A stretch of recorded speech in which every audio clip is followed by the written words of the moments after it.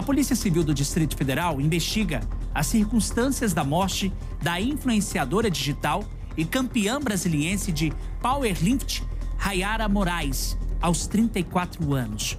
O corpo da influencer foi encontrado na cama do apartamento dela nessa última quarta-feira em Águas Claras. A 21ª Delegacia de Polícia Civil investiga o caso e ainda aguarda os laudos sobre a causa da morte. A morte da influencer teria ocorrido entre quatro e seis dias atrás. De acordo com a delegacia, gente, o corpo de Rayara não tinha sinais de violência.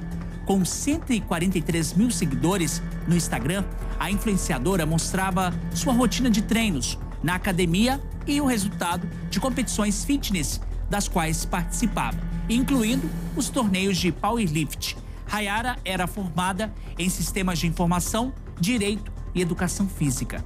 Nas redes sociais, ela se apresentava como atleta, fisiculturista e modelo. Com amigos e seguidores, ela compartilhava rotina de treinos, ensaios fotográficos profissionais. Muitos amigos e pessoas que treinavam com ela lamentaram a morte da influencer nas redes sociais. Tá aí, a gente segue acompanhando aqui do Cidade, também um trabalho investigativo da Polícia Civil para quando, depois de 30 dias, sair realmente o resultado desse laudo sobre a morte da Rayara, tá bom? 18 horas 47 minutos.